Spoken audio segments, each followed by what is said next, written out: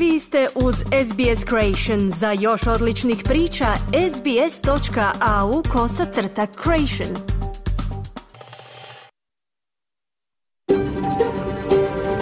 SBS, a world of difference. You're with SBS Croatian on mobile, online and on radio. Vi ste uz SBS Creation na svojim mobilnim uređajima na internetu i radiju. SBS odaje priznanje tradicionalnim vlasnicima zemlje s koje danas emitiramo program na hrvatskom jeziku. Izražavamo poštovanje narodu Vurunđer i Vojvurung, pripadnicima nacije Kulin, njihovim bivšim i sadašnjim starješinama. Odajemo priznanje i tradicionalnim vlasnicima zemlji svih aboriđinskih naroda i naroda s otoka u Torres Ontjesnacu na čijoj zemlji slušate naš program. Dobar dan, ja sam Mirna Primorac. Vi ste uz SBS na hrvatskom jeziku. U 11 sati u četvrtak 19. rujna počinjemo još jedan jednosatni pregled vijesti aktualnosti iz Australije, Hrvatske i svijeta. Danas se bavimo okvirima i regulacijama za umjetnu inteligenciju, kako iskoristiti prednosti tehnološkog napretka i zaštititi se od mogućih zloupotreba. Savezna vlada je objavila prvi dio svog plana, dobrovoljne smjernice, a obvezni kodeks slijedi. Predstavljamo vam danas Kristijana Šantića, australskog umjetnika hrvatskog podrijetla. Razgovaramo o odrastanju u useljeničkoj obitelji i razlikama između australske i hrvatske kulture. Prije najavljenih tema čućemo vijesti. Iz Zagreba nam se danas javlja Enis Zebić. Govori o pripremama za riječni plimni val koji se približava Hrvatskoj i početku rada Sabora. Vijesti sporta nam prenosi Željko Kovačević. Uz loše europske vijesti za Dinama čućemo i ko je Hrvat na trenerskoj klupi Rome.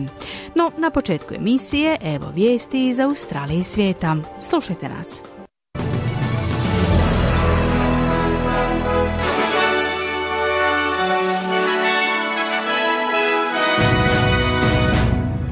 U današnjem pregledu vijesti poslušajte. U nizu eksplozija u Libanonu 14 poginulih i 450 ozlijeđenih osoba. Središnja banka Sjedinjenih američkih država smanjila je kamatnu stopu za 0,5%. Opća skupština Ujedinjenih naroda usvojila je rezoluciju kojom se od Izraela zahtjeva da u roku od godinu dana napusti palestinski teritorij.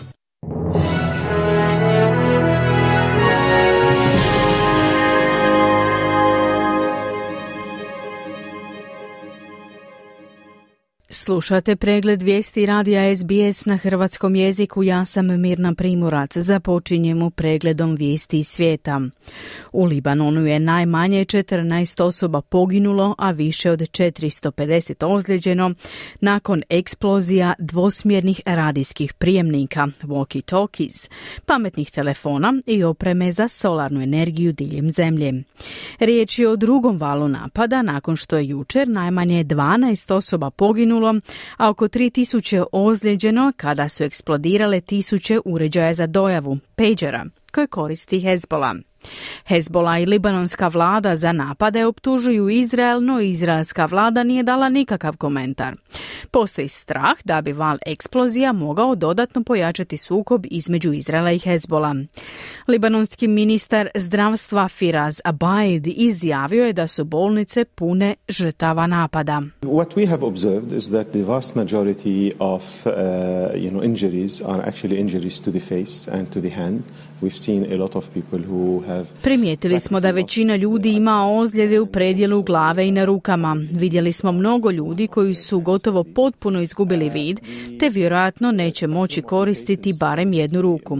Spektar pacijenata na prijemu hitne pomoći bio je širok. Vidjeli smo i djecu, od kojih je dvoje preminulo, kazao je libanonski ministar zdravstva. Opća skupština Ujedinjenih naroda usvojila je u srijedu rezoluciju koju su sročili palestinci kojim se od Izraela zahtjeva da prekine citiramo, svoju nezakonitu prisutnost na okupiranom palestinskom teritoriju u roku od 12 mjeseci. Rezoluciju su podržale 124 zemlje, 43 su bile suzdržane, a Izrael, Sjedinjene američke države i 12 drugih glasale su protiv. I Australija i Hrvatska bile su među suzdržanim zemljama. Ovaj potez izolira Izrael samo nekoliko dana uoči odlaska svjetskih čelnika u New York na godišnje okupljanje Ujedinjenih naroda, te uoči hitnog sastanka Vijeća sigurnosti UN-a na kojem će se raspravljati o napadima u Libanonu. Rezolucija pozdravlja savjetodavno mišljenje Međunarodnog suda pravde iz srpnja, prema kojemu je izraelska okupacija palestinskih teritorija i naselja nezakonita. Izraelski premijer Benjamin Netanjahu trebao bi se obratiti 193 članoj općoj skupštini 26. rujna, istog dana kada i palestinski predsjednik Mahmud Abbas. Središnja banka Sjedinjenih američkih država snizila je kamatne stope po prvi put u više od četiri godine, smanjivši ih na 4,8% sa 5,3%. Ovo smanjenje označava kraj borbe protiv inflacije koja sada iznosi 2,5%. Iako su odluke Središnje banke Sjedinjenih američkih država ključne za globalne troškove zaduživanja, ne očekuje se da će Australka Središnja banka slijediti njihov primjer. Ukrajinske bespilotne letjelice izvele su napad na veliko vojno skladište u gradu Toropec duboko u ruskoj regiji Tver, gotovo 400 km sjeverozapadno od Moskve. Prema izvješćima ukrajinskih dužnosnika i ruskih medija, napad je izazvao veliki požar i prisilio lokalne vlasti na evakuaciju dijela stanovništva. Prema informacijama iz Kijeva, napad su organizirali Ukrajinska sigurnosna služba, obavještajne snage i specijalne postrojbe. Cilj napada bilo su vojna skladišta u kojima su se nalazile rakete Iskanderi.u, kao i bombe i topničke granate. Ovaj napad dolazi neposredno nakon izjave visokog američkog diplomata koji je izjavio kako plan ukrajinskog predsjednika Voldomira Zelenskog za pobjedu u ratu, čiji detalji nisu objavljeni, ima potencijal za uspjeh, te bi mogao pridonijeti okončanju sukoba koji sada već ulazi u svoju treću godinu. Slušate pregled vijesti radija SBS na hrvatskom jeziku, nastavljamo pregledom vijesti iz zemlje. Laburistički prijedlog zakona pod nazivom Help to Buy odgođene za dva mjeseca nakon što su zapeli pregovori između laburista i zelenih, dok su zeleni koalicija postigli dvomjesečnu odgodu prijedloga zakona. Šema Help to Buy namjerava omogućiti 40.000 kupaca prve nekretnine pristup povoljnijim depozitima kroz suvlasništvo sa saveznom vladom. Ovo je već drugi stambeni zakon koji je ovog tjedna zaustavljen u Senatu, nakon što su pregovori o zakonu za izgradnju stanova za najem također naišli na prepreke. Zeleni upozoravaju da bi prijedlog zakona Help to Buy mogao dovesti do rasta cijena stanarina i nekretnina te ističu potrebu za većom zaštitom podstanara i dodatnim sredstvima za javno stanovanje. Simon Birmingham iz oporbe kritizira zakon kao lošu politiku. Uh, our view is you're better off focusing on the fundamentals uh, to actually get the cost of building houses down, get the ability to develop them up. Uh, Bolje usredotočiti se na osnovne mjere, smanjiti troškove gradnje, povećati mogućnosti razvoja i riješiti demografske pritiske, umjesto investiranja u ovaj sumnjivi vladin plan vrijedan milijardu dolara, kazao je Birmingham. Slučajno objavljivanje tajne revizije australskog vojnog pravosudnog sustava izaziva kritike nakon što je ista uklonjena sa internetske stranice Kraljevskog povjerenstva. Izvješće o radu Ureda glavnog inspektora australskih obrambenih snaga dalo je preporuke za veću neovisnost te institucije kako bi se odklonile sumnje u povezanost neovisnog inspektora sa najvišim vojnim vlastima. U izvješću se navodi kako je Ured glavnog inspektora, citiramo, povezan pupčanom vrpcom sa zapovjednom strukturom obrambenih snaga. Revizija je prvo slučajno objavljena na internetskoj stranici Kraljevskog povjerenstva, a vlada ju je kasnije ponovno učinila dostupnom. Neovisna senatorica Jackie Lambie mjesecima zahtjeva objavu izvješća optužuje ministra obrane Richarda Malsa za loše upravljanje revizijom. Senator zelenih David Shoebridge, čiji je ured pronašao izvješća na internetu, optužuje vladu za pokušaj prikrivanja dokaza. The question Defence Minister Miles must face now is did he order the editing of the Royal Commission website? Is this really how he's responding? Pitanje s kojim se ministar obrane Richard Miles sada mora suočiti jest je li on naredio uređivanje internetske stranice Kraljevskog povjerenstva. Je li to doista njegova reakcija na trogodišnje kraljevsko povjerenstvo koje svoju vjerodostojnost duguje isključivo svoje neovisnosti? Jesu li on i njegovo ministarstvo reagirali uklanjanjem neugodnih dokaza iz kraljevskog povjerenstva jer se upravo to dogodilo jučer, kazao je senator Shoebridge. Istražno povjerenstvo Senata preporučuje uvođenje reproduktivnog dopusta za žene koje prolaze kroz menopauzu i perimenopauzu. Izvješće vladinog odbora uključuje 25 preporuka među kojima je razmatranje uvođenja rodno osjetljivog reproduktivnog dopusta. Menopauza obično nastupa u dobi između 45 i 60 godina, dok perimenopauza koja je prethodi može trajati do 10 godina. Ova stanja mogu uzrokovati blage do teške simptome poput umora, bolova, promjena u menstrualnom ciklusu, ubrzanog rada srca, poteškoća sa spavanjem te povećane razdražljivosti i depresije. Izvješće također predlaže nacionalnu kampanju za podizanje svijeste kako bi se poboljšalo razumijevanje i uklonila stigma povezana sa menopauzom. Bivša premijerka Novog Zelanda Helen Clark kritizirala je trenutnu novozelandsku vladu zbog razmatranja pridruživanja sporazumom AUKUS. Sjedinjene američke države potvrdile su da su u pregovorima sa Novim Zelandom i još dvije zemlje o njihovom pridruživanju sporazumu kao partnerima drugog stupa.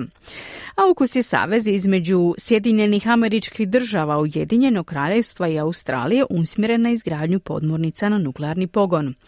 Clark ističe da nije bilo predizbornog upozorenja da će vlada Krisa Laksana pokrenuti zemlju u vojno partnerstvo pod vodstvom Sjedinjenih američkih država. Njeni komentari dolaze u vrijeme stalne zabrinutosti zbog AUKUS pakta u Australiji, osobito nakon što je kineska državna televizija ovog tjedna objavila vojni video na kojemu kineski pilot borbenog zrakoplova naziva australski zrakoplov neprijateljem. Ministar obrane Richard Miles izjavio je sljedeće. We haven't been able to verify uh, where this has come from. Um, uh, we, we seek to build uh, the most productive relationship that we can with China. We've said all along that we've sought to Nismo uspjeli potvrditi odakle dolazi ovaj video. Nastojimo izgraditi što produktivniji odnos sa Kinom. Cijelo vrijeme smo govorili da želimo stabilizirati naš odnos sa Kinom i surađivati gdje možemo. I ne slagati se gdje moramo, kazao je Mars. Prema sporazumu, Australija će se u 2030. naoružati podmornicama na nuklearni pogon, a vlastitu proizvodnju započet će u 2040. Iz sporta izdvajamo najbolji strelac svjetskog nogometnog prvenstva u Italiji 1990. godine Salvatore Toto Silaci preminuo je u dobi od 59 godina. Bio je iznenađujući junak svjetskog prvenstva te 90. godine gdje je bio najbolji strelac turnira. Iako je u prvom susretu Italije ušao kao zamjena, kasnije je postigao šest golova, pomogavši Italiji da završi na trećem mjestu. Njegov bivši menadžer u Messini Franco Scolio istaknuo je da nikada nije vidio igrača koji je toliko želio postizati golove kao Toto.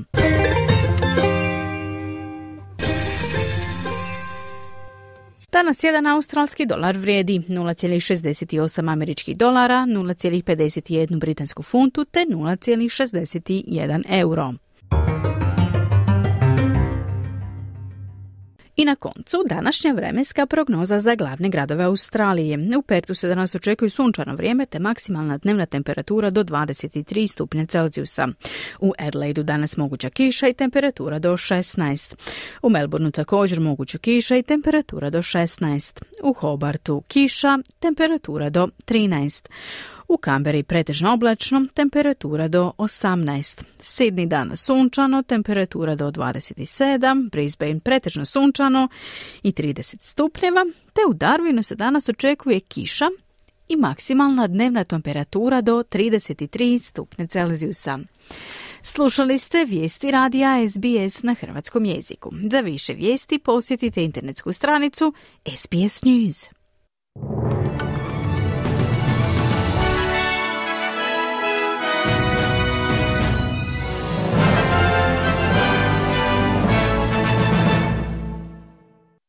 Slušate SBS na hrvatskom jeziku, ja sam Mirna Primorac i dalje vam donosimo vijesti. Sada se okrećemo prema Hrvatskoj. Hrvatska se sprema za plimni val na Dunavu nakon što su katastrofalne poplave zadesile više srednje europskih zemalja. Nakon dva mjeseca ljetne stanke, saborski zastupnici pitanjima vlade i takozvanim aktualnim prijepodnevom započeli sa radom u novim prostorima. Obilježen dan Hrvatske ratne mornarice. Srbijanski glumac Sergej Trifunović zaustavljen na izlazu iz Hrvatske, odveden u Split i prekršajno kažnjen. Za SBS program na hrvatskom jeziku iz Zagreba, Enis Zebić. U poplavama proteklih dana u Rumunjskoj poginulo sedmero ljudi, šestero u Poljskoj, petero u Austriji, troje u Češkoj, plimni val stižu u Mađarsku, a što je s nama? Na svu sreću Hrvatska je pripremljena i na Dunavu se ne očekuju veći problemi. Generalni direktor Hrvatskih voda Zoran Čoroković dolazak plimnog vala na Dunavu najavljuje za sedam dana. Sve prema prognozama, znamo da će vodni val biti ozbiljan, ali ne više od toga da bi trebao ugroziti sustav obrane od poplava na području Osječko-baranjske i Vukovarsko-srijemske županije, no treba će isto tako i puno rada, kontrole, ozbiljnosti, da sve to bude onako i kako i treba. Naši nasipi su dimensionirani za takve situacije, oni su dobro održavani i samo svi zajedno trebamo provoditi mjere obrane od poplava, problema ne bi trebalo biti. Hrvatski sabor na novoj lokaciji u prostorijama Hrvatskog vojnog učilišta, jer se zgrada sabora popravlja nakon potresa prije četiri godine. Jesensko zasjedanje započelo je po običaju aktualnim prijepodnevom, gdje saborski zastupnici pitanjima rešetaju premijera i ministre. Malo ćemo se više pozabaviti ovom temom, jer vjerujem da tako možete dobiti najplastičniju sliku hrvatske politike. Socijaldemokratska saborska zastupnica Mirela Ahmetović prozvala je Plenkovića jer je uvjerena da će se ukidanje subvencija za energente automatski odraziti na povišenje cijena prehrambenih proizvoda zbog viših troškova transporta. Ali osim što će plaćati veće račune za struju, čak 10%, ti isti umirovljenici, ali općenito građani, susreće se i sa povećanjem cijene svoje potrošačke košarice dobara upravo zbog vaše odluke o poskupljenju energije.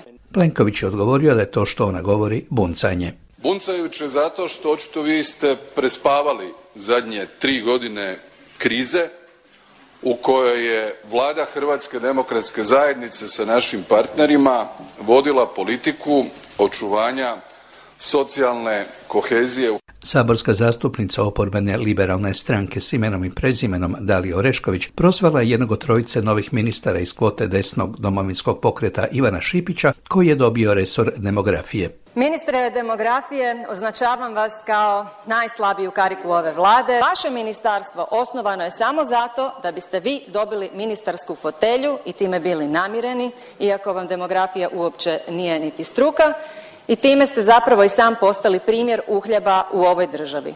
Šipić koji je po obrazovanju diplomirani katolički teolog i koji predaje vjeronauku nekoliko osnovnih škola u Sinju, bio je vidno pogođen.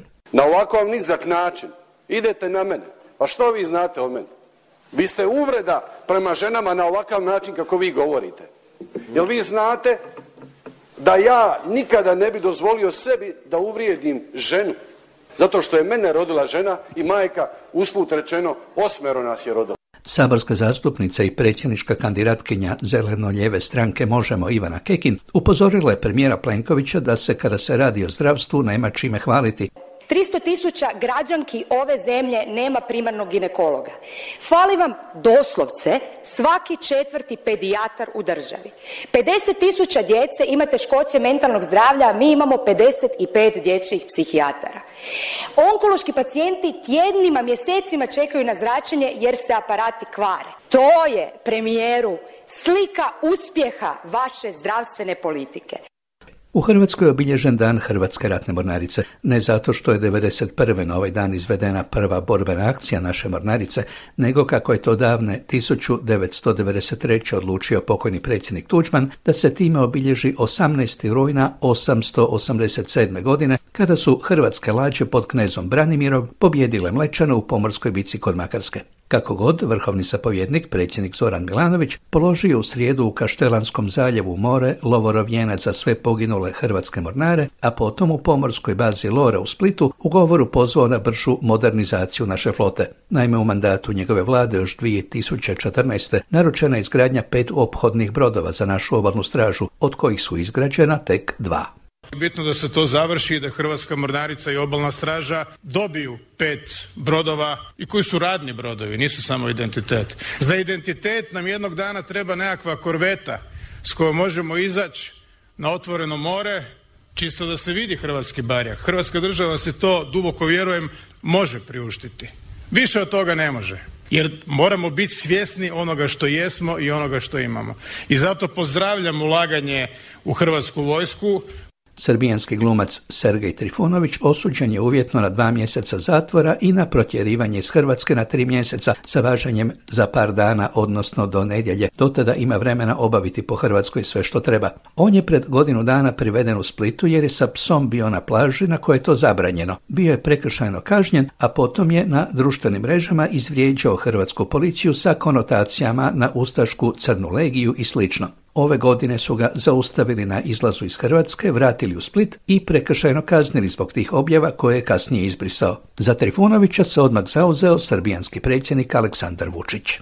Apelujem na hrvatske vlasti da razumeju da utamničenje Srba ne vodi stvaranju boljih odnosa i ne želim da izgovaram teške reči i kvalifikacije koje su oni zbog nekoliko desetina minuta zadržavanja govorili o Srbiji već samo molim i zahtevam od njih da se ponašaju racionalno i da Sergeja Trifunovića što pre puste na slobodu. Naravno, Trifunović nije u Hrvatskoj bio u zatvoru, da ne kažemo tamnici. Ministar unutarnjih poslova Davor Božinović podsjetio je da je Trifunović suđen za vrijeđanje policije, što kod nas nije rijedak slučaj. Nikako utamničenje nije bilo i u trenutku kad je ta vijest izašla, gospodin Trifunović je bio na slobodi i bilo mu je zakazano ročište danas. Dakle, toga nema, to nije naša praksa. Sudovi sude po zakonu.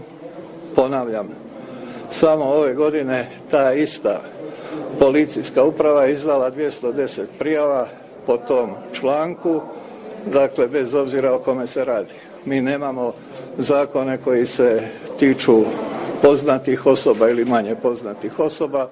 Imamo zakone o kojima u konačnici odluku donosi sud.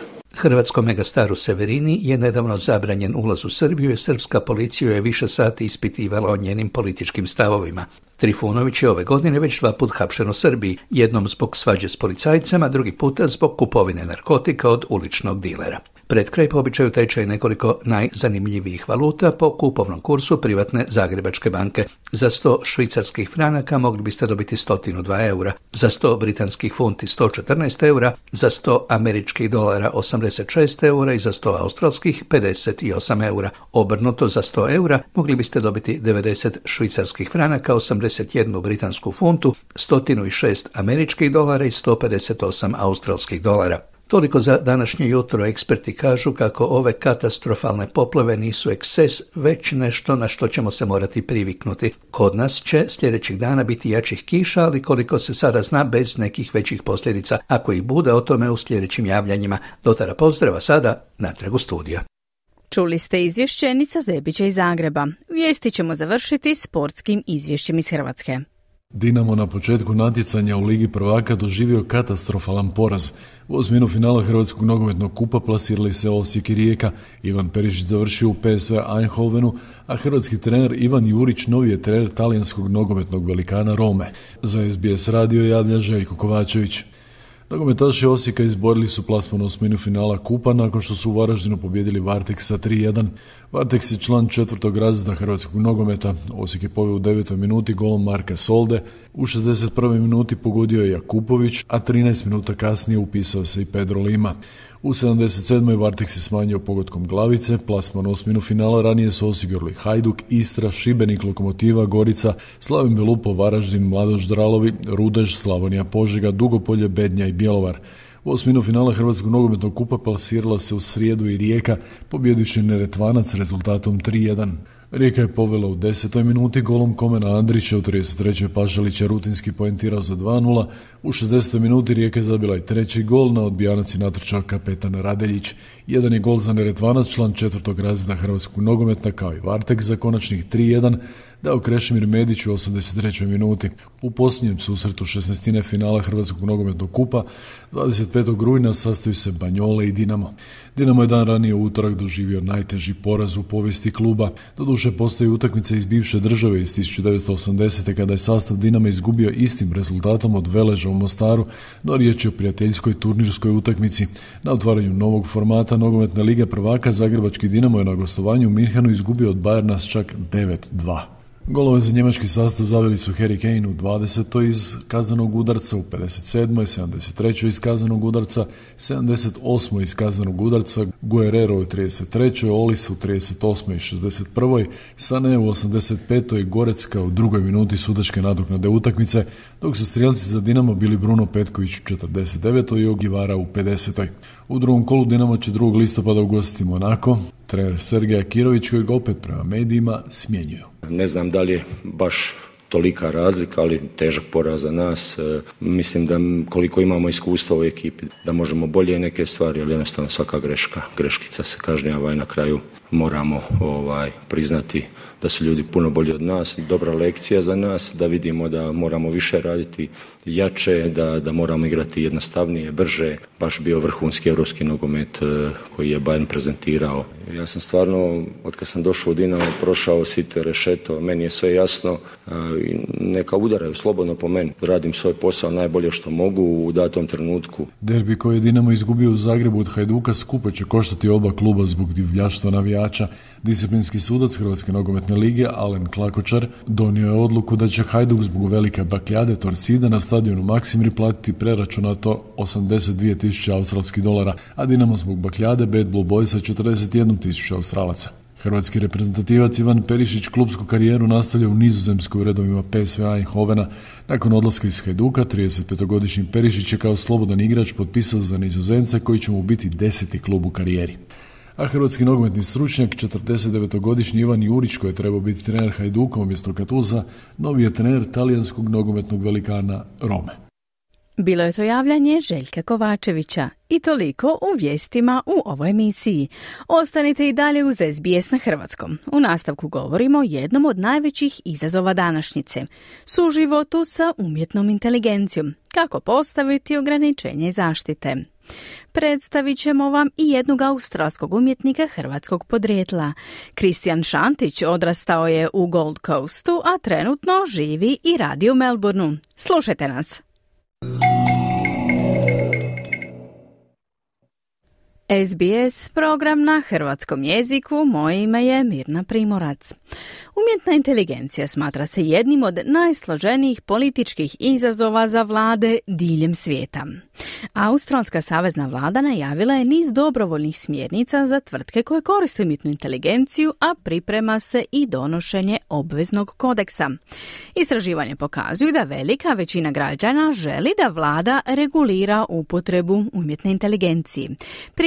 Rajna Jelop.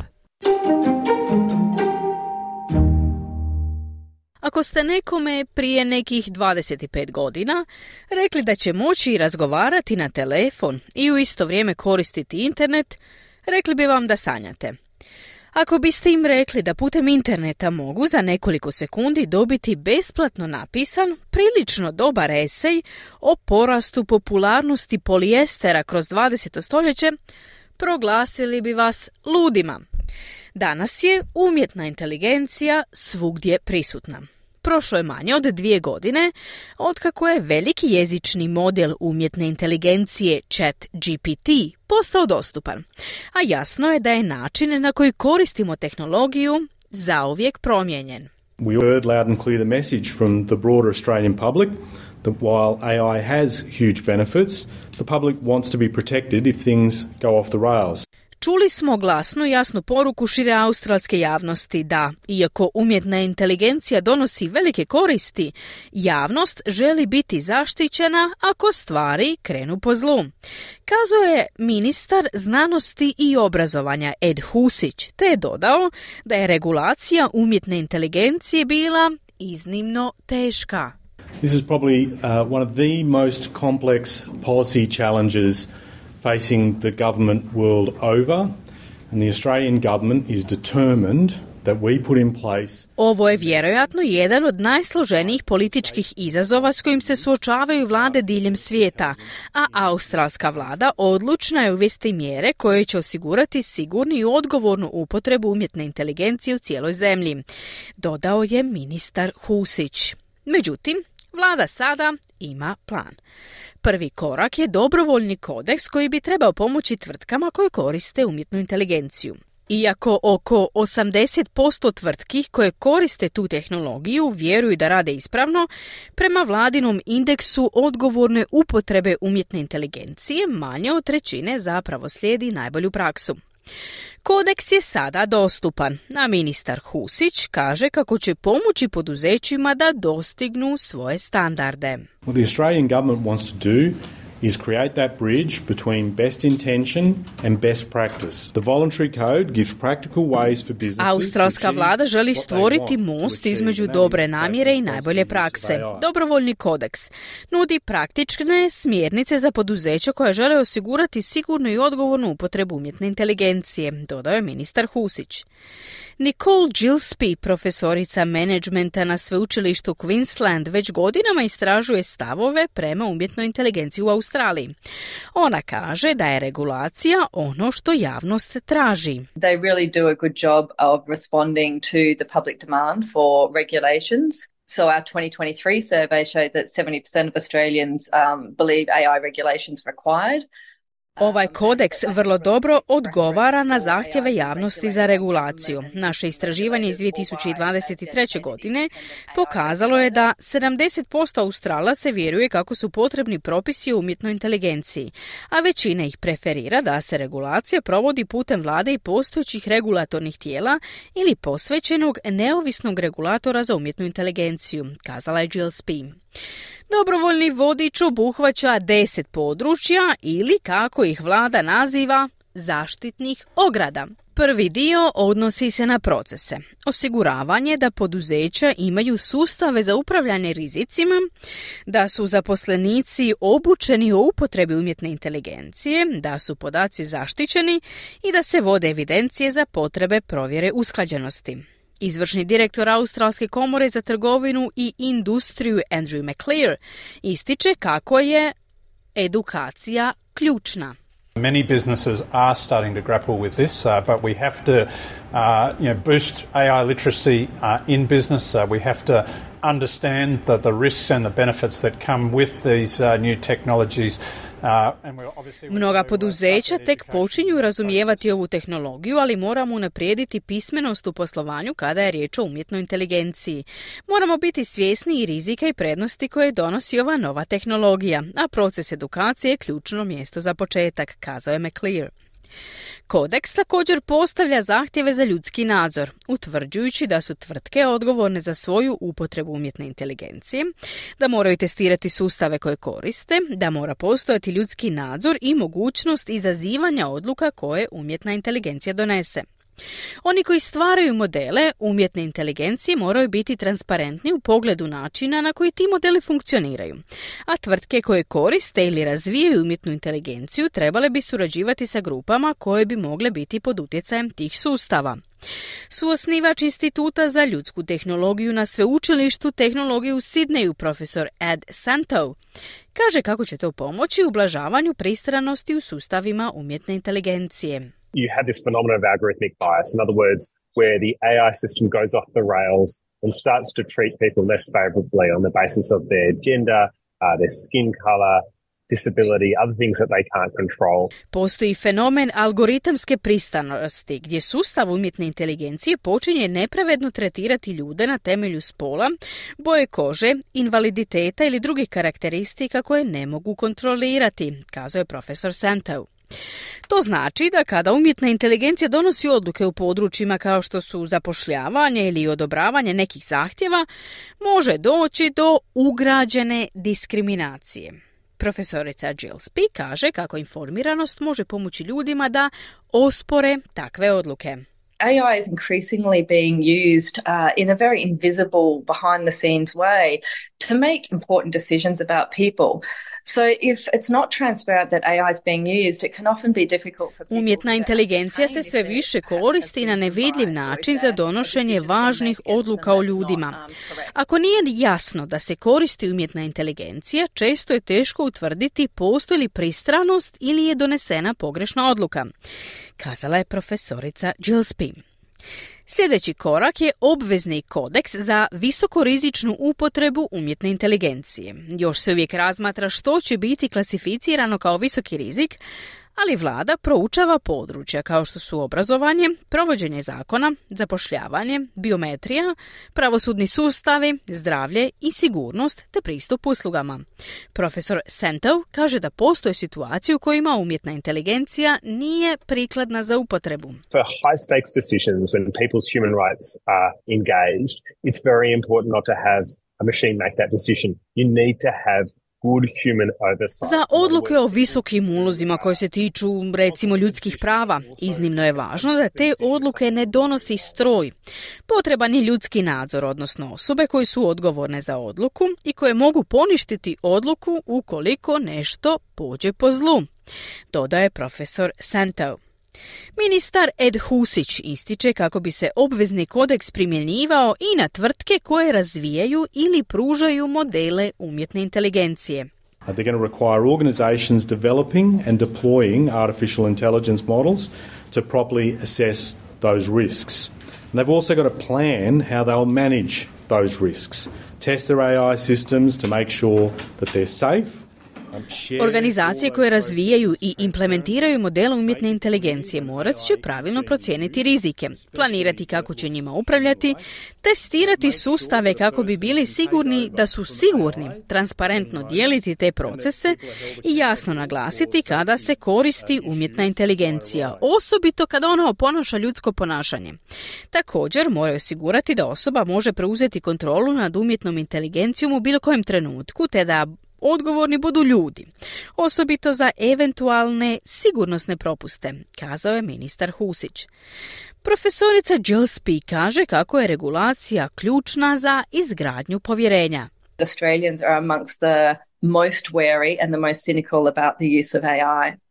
So there really, we do need these interventions, we need stronger Australci su među najopreznijima i najciničnijima kada je riječ o upotrebi umjetne inteligencije. Ove mjere su nužne, a jača regulacija temelj je za izgradnju povjerenja u ove tehnologije.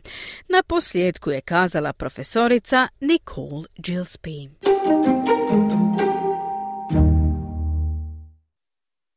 Bio je to prilog Rajne Jelop. Vrijeme je u programu SBS na hrvatskom jeziku za glazbeni predah, a onda razgovaramo sa Kristijanom Šantićem, australskim umjetnikom hrvatskog podrijetla. Ostanite uz SBS na hrvatskom jeziku. Vi ste uz SBS na hrvatskom jeziku, ja sam Mirna Primorac. Predstavljamo vam sad jednog australskog umjetnika koji za sebe kaže da vjerojatno ne bi postao ono što jeste da nije odrastao u jednoj vrlo teatralnoj hrvatskoj obitelji.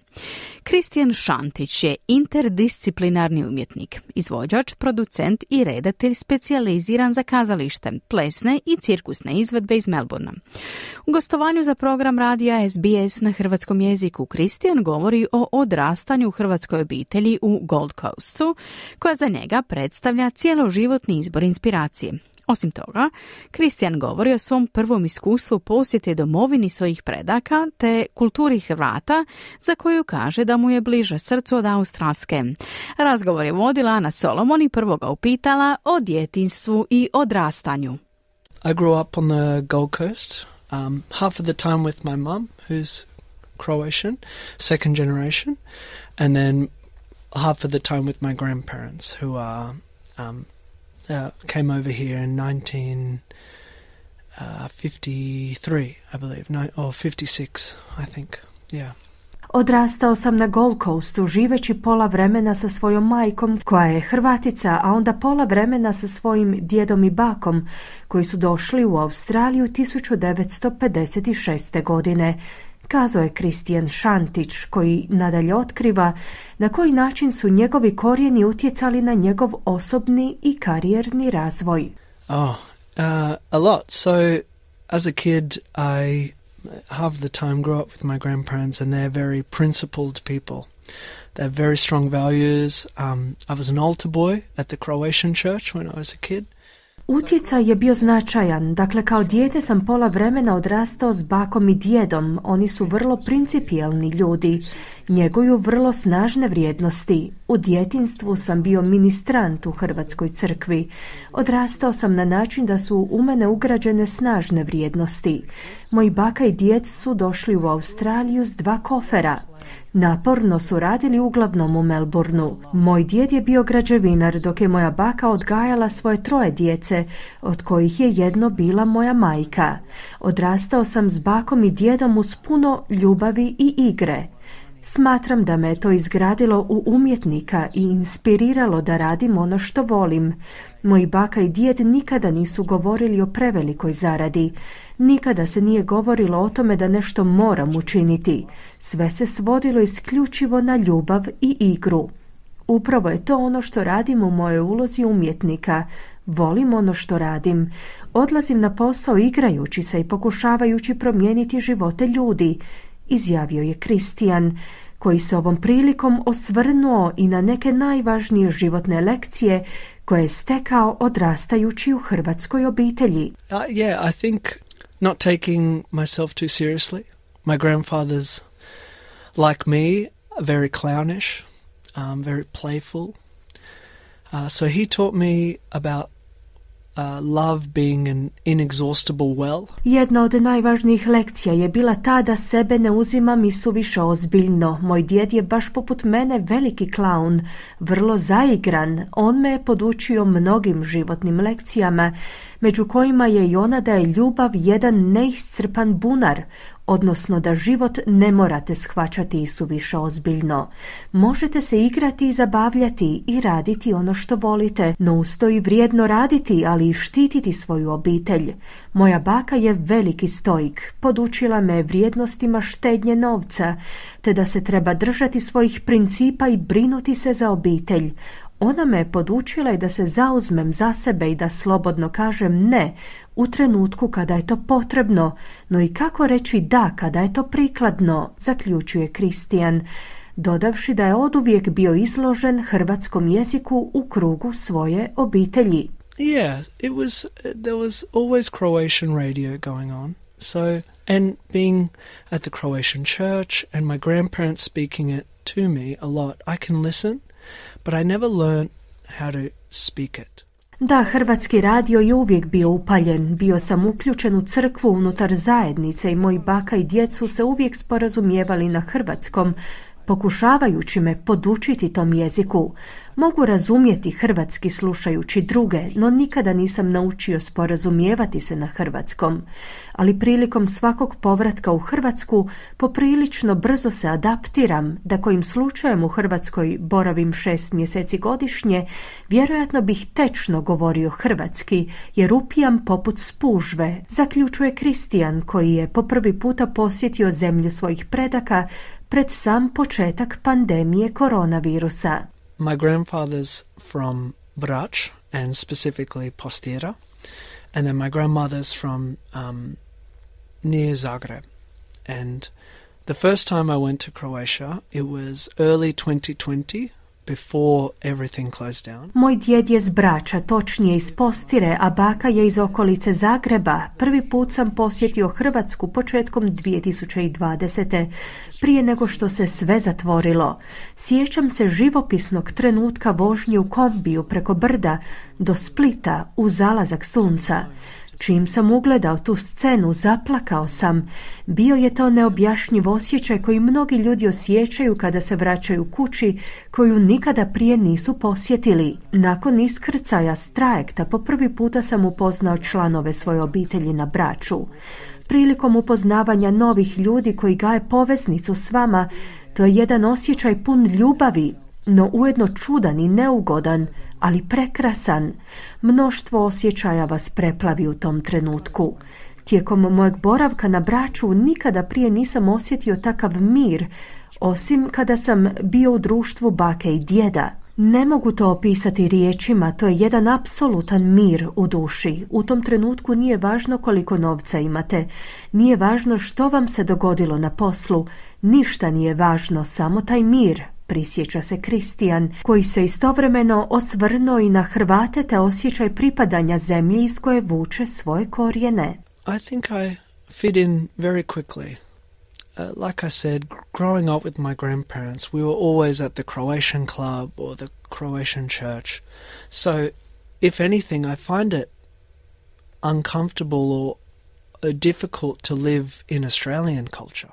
Mislim da sam se vrlo brzo uklopio, kao što rekoh, odrastajući s bakom i djedom uvijek smo bili u hrvatskom klubu ili hrvatskoj crkvi. Ono što mogu kazati jest to da je neugodno, odnosno teško živjeti u australskoj kulturi, jer u kulturi Hrvata je da izravno govore ono što osjećaju. U njihovoj kulturi je pristojno biti otvoren, no vrlo nepristojno je da zadržavate ono što želite kazati. Budući da živim u Australiji, kultura Hrvata me je učinila pomalo grubim, Povratak u zemlju svojih predaka je bio kao da ponovno živim s djedom i bakom.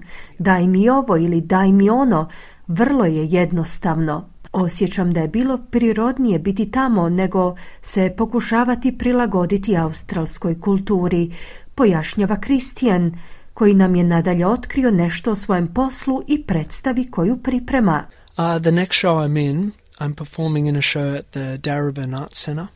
It's called Apocrypha, and I'm playing a um, clown in that show. Moja iduća predstava će se održati u umjetničkom centru Darabin, zove se Apokrif.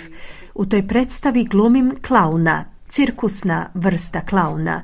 To će biti i pomalo drugčije iskustvo od prethodnih iskustava, no zasigurno vrlo uzbudljivo, ustvrdio je Kristijan, koji je na koncu našeg razgovora otkrio kako ga je životni put naveo u zabavnu industriju. I have always grown up in a very, uh, I would say, theatrical household. My grandfather is um, uh, very clownish, very performative. Od uvijek sam odrastao rekao bih, vrlo teatralnom kućanstvu. Moj djed je baš poput klauna, voli glumiti. Odrastao sam obožavajući ga i promatrajući to u kojoj mjeri je zabavan. Želio sam biti baš poput njega. Smatram da imam ugrađenu prirodnu sposobnost za izvedbu i glumu, čineći druge ljude sretnima. Sviđa mi se taj osjećaj i znam da bi moji baka i djed bili jako ponosni na to. Na posljedku je kazao Kristijan. S Kristijanom Šantićem, umjetnikom iz Melburna, razgovarala Ana Solomon. I time smo se približili kraju našeg današnjeg programa. Ostaje nam dovoljno vremena da se prisjetimo vijesti dana.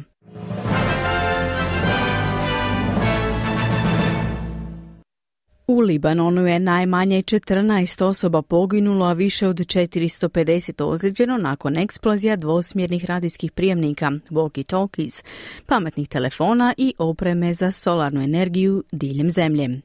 Opća skupština Ujedinjenih naroda usvojila je rezoluciju kojom se od Izraela zahtjeva da u roku od godinu dana napusti palestinski teritorij. Hrvatska se sprema za plimni val na Dunavu nakon što su katastrofalne poplave zadesile više srednjoeuropskih zemalja.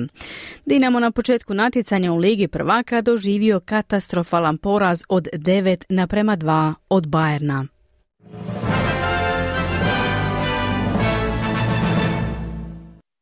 I bilo je to sve za ovaj četvrtak u programu SBS na hrvatskom jeziku. Ja sam Mirna Primoraca, program je uredila Marijana Buljan. Hvala vam na slušanju. Budite uz nas i sutra u isto vrijeme od 11 do 12 sati. Ugodan dan i do slušanja. Kliknite like, podijelite, pratite SBS Creation na Facebooku.